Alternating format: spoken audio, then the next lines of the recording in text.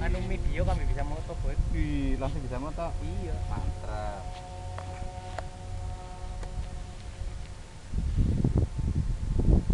landingnya nanti mbak.